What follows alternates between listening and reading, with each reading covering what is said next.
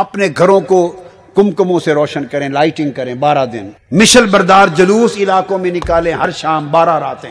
لنگر پکائیں، کھانے غریبوں میں تقسیم کریں۔ خوشیاں منائیں، محافل کریں سلاد و سلام کی محفلیں کریں۔ کیونکہ ان تمام تر اعمال مسرت یعنی خوشیوں کے اعمال کی نسبت آقا علیہ السلام کی طرف ہوگی۔ اور اللہ اس پر خوش ہوگا۔ آپ حضور کی ولادت پہ خوش ہوں گے، اللہ آپ سے خوش ہوگا۔